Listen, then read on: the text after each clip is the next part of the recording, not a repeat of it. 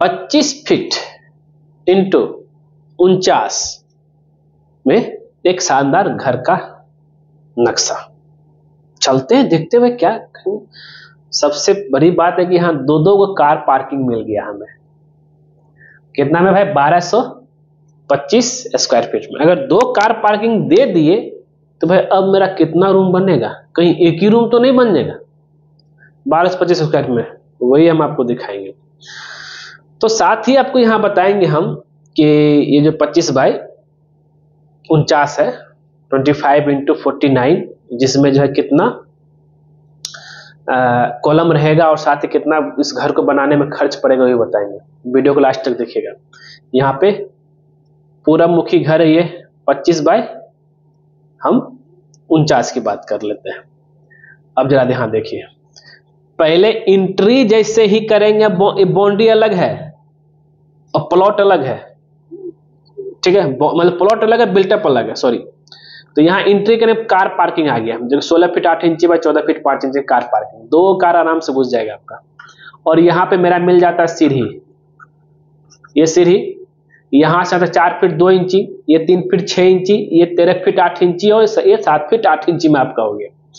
फिर जब आगे बढ़ेंगे हम तो आगे मेरा क्या आ जाएगा? देखिए ड्राइंग रूम आ जाएगा। ड्राइंग डाइनिंग एक ही साथ है, एकदम ज़बरदस्त, जो कि पंद्रह फीट दो इंची बाय चौदह फीट नौ इंची का ड्राइंग डाइनिंग और ओपन किचन ओपन किचन का आजकल बहुत चलन चला है। ओपन किचन बहुत लोग जो है लेते हैं तो जो कि आठ फीट इंटू नौ फीट चार इंची का, जैसे खिड़की इधर है, जैसा खिड़की इधर है। और यहाँ पे पूजा रूम मिल जाता है, जो कि सात फीट बाय चार फीट छह इंची का ठीक है? आगे हम बढ़ेंगे तो यहाँ कॉमन बाथरूम मिल गया, जो कि आठ फीट बाय पाँच फीट का कॉमन बाथरूम हो गया। फिर यहाँ पे आगे बढ़ेंगे, देखो क्या, सब कुछ तो मिल गया खाली रूम बच गया ना। तो रूम जो है, दो गो रूम आपको मिल गया।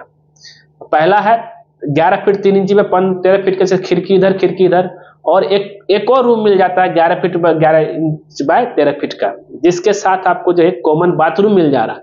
आठ feet by sorry attach bathroom मिल जाएगा, आठ फीट बाय चार फीट छह इंच का। जो कॉर्नर साइड में रूम रहता है वहाँ दो दो खिड़की दे दिए खिड़कियाँ है खिड़कियाँ खिड़की यहाँ है खिड़कियाँ एक इस बाथरूम वेंटिलेशन इधर वेंटिलेशन इधर तो इस तरीके से क्या हो गया बताइए? टू बी का शानदार घर हो गया ना, बारह सौ पच्चीस स्क्वायर फीट में। आपको भी चाहिए तो ज़रूर इसी तरह बनाइएगा। अब कॉलम गिन लेते हैं कितना कॉलम है। एक, दो, तीन, चार, पाँच छः सात, आठ, नौ, दस, ग्यारह, बारह, तेरह, चौदह, पंद्रह। पंद्रह कॉलम में ये घर बनेगा, बताइए। तो हम यहाँ लिख लेते हैं, पहले कॉलम में लिख लेते हैं भूल जाएँगे। पंद्रह कॉलम में घर बनेगा। कितना भाई ये? पच्चीस फीट इंटू उनचास फीट। हो गया आपका बारह सौ पच्चीस स्क्वायर फीट हो गया। ठीक है? कितना रूम बताइए? दो रूम निकला ना? टू बी के घर हो गया है। ठीक है? अब, इस घर को बनाने में खर्च की बात कर लेते हैं। इक्कीस लाख। एक घर बन के तैयार हो जाएगा। अब बताइए, और कुछ चाहिए आपको? नक्शा चाहिए तो ज़रूर संपर्क कीजिएगा। हम आपको आपके जो जो दिमाग में है, उसी हिसाब से नक्शा बनाएँगे। आपका चॉइस के हिसाब से रिक्वायरमेंट आपको जो भी है, और कांटेक्ट कर सकते हैं हमें।